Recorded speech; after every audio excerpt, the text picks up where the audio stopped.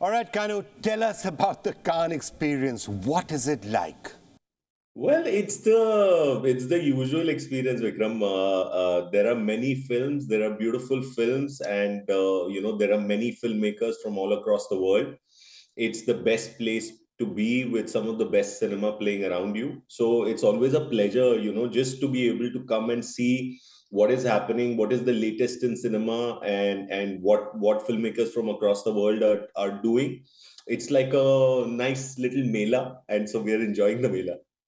Okay, Kanu, uh, uh, talk to us a little bit about a film like Agra. The, the clear theme that you're looking out there, and it's a theme that you're familiar with, I guess, is the dynamics of families. How do families work, especially in small town setting? This clearly is a subject that seems to be very close to your heart. Yeah, I, I mean, uh, Agra specifically, I think, is a film about sexuality and sexual repression and it look at it it looks at the idea of physical spaces the physical spaces that we inhabit. So it's about how our sexuality and our sexual lives affect the physical spaces that we live in and how in turn the physical spaces end up affecting how we express ourselves sexually.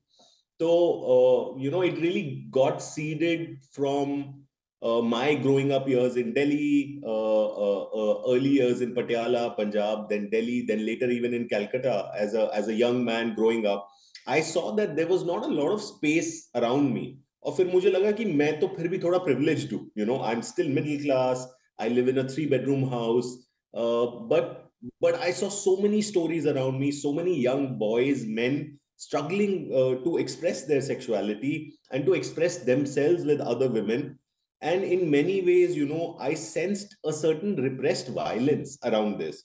And and we've all been privy to that sort of those sort of bursts of violence in our, in in life around us over over the last few years uh, especially since nirbhaya it's been in the spotlight. But we eventually have no insight into the lives of these men uh, into the lives of these these boys uh, also especially because we we live in such a deeply patriarchal society and within the patriarchal society now given the whole me too movement and, and all that it's become even more difficult for men to express themselves in a certain way uh, uh, and to find articulation for the, what they might be feeling Kanu, this crucial question that you address in Agra, the question of sexual violence. When it comes to something like rape, when it comes to sexual violence also within the family, uh, it's a big story here in India. It needs to be told a lot more, discussed a lot more.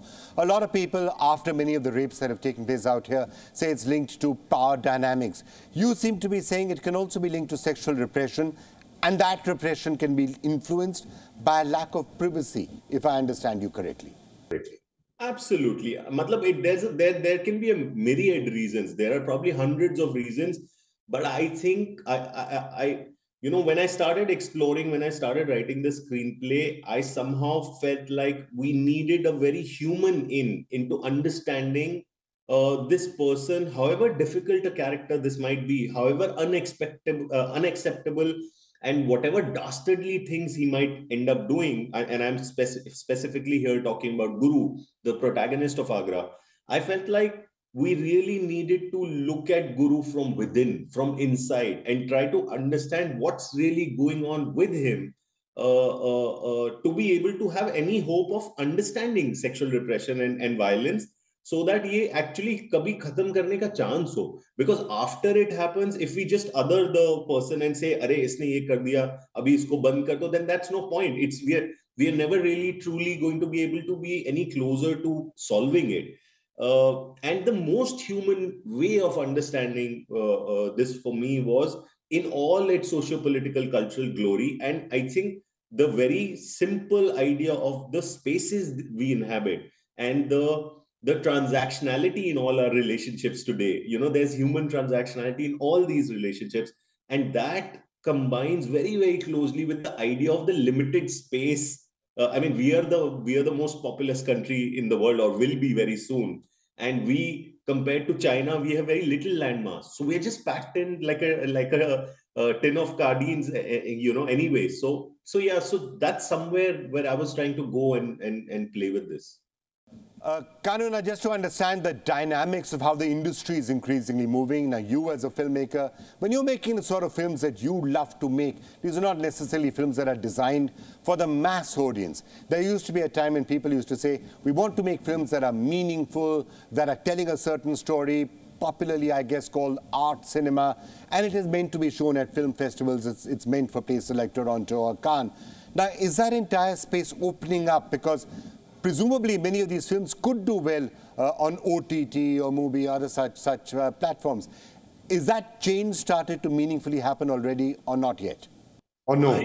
I, am not so sure, Vikram, to be honest. Uh, uh, uh, in fact, I feel somewhere the space is shrinking uh, because anyway cinema overall has has taken all all sorts of cinema has taken a little bit of hit in the post pandemic world. We are still recovering uh, effect of that anyway goes towards art house cinema because it's not traditionally valued.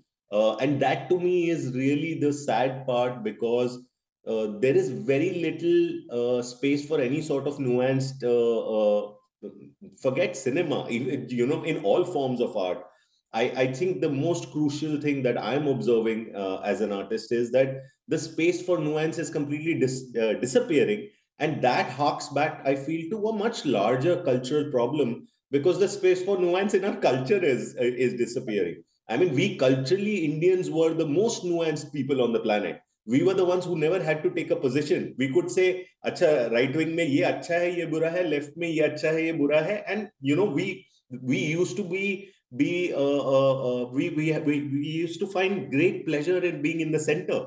But now we are, we live in times where you have to take a position. You can't be on either side. And i think the effects of that are being felt everywhere. And and art just reflects uh, life as it happens around you yeah, Kanu, you're preaching to the converted. I'm, I'm a journalist, and I remember the time when it used to be a virtue to tell an unbiased story and being balanced about it.